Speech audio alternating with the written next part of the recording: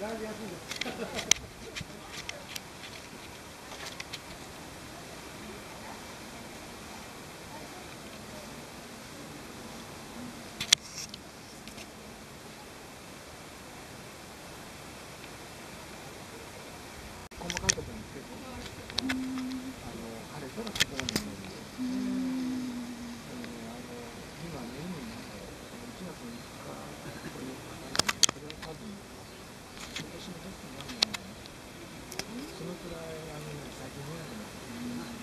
ですそのくらいの写真って3年前ぐらい撮ってくれるんですよ。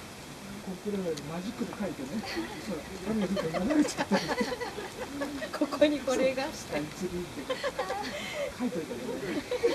もうあの今はちゃんとしたやつになってるんだけど、でも大事と見えてない。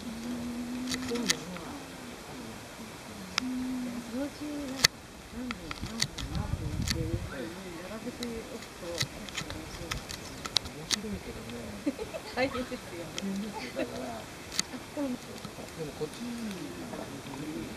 昔そういうのできるんですよ。東京の方に絶対違うの2年前のところから、すっごい増えてる。だから、あの、このビールとこのビールの隙間から、